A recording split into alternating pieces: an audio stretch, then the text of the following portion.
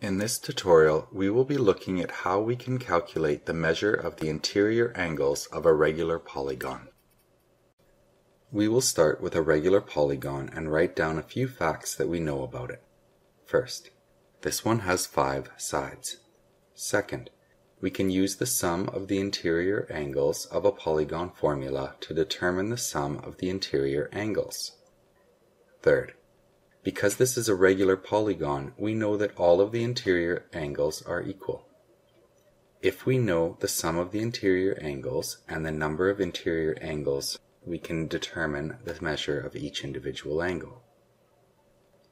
We divide the sum of the interior angles by the number of interior angles. Replace our numerator with the formula for the sum of the interior angles. Then replace the denominator with n. There are the same number of interior angles as sides, so n works. Solve, and we get 108 degrees. If you know the measure of the individual angles of a regular polygon, you can also work the other direction to determine how many sides a polygon has. How many sides would a regular polygon have that has interior angles measuring 90 degrees. Start with the formula for individual angles of a regular polygon.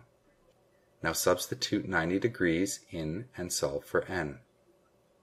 Multiply both sides by n to cancel the n in the denominator. Expand out your brackets by using the distributive rule. Subtract 180n from both sides. Now divide both sides by negative 90.